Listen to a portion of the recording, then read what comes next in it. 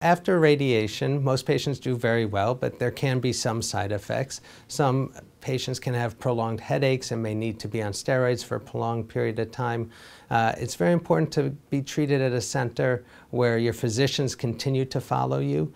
Uh, in particular with a radiation oncologist uh, at Monmouth Medical Center, we always continue to follow our own patients and we want to be actively involved in their care to ensure that we can help minimize any side effects that they do have from their radiation treatment.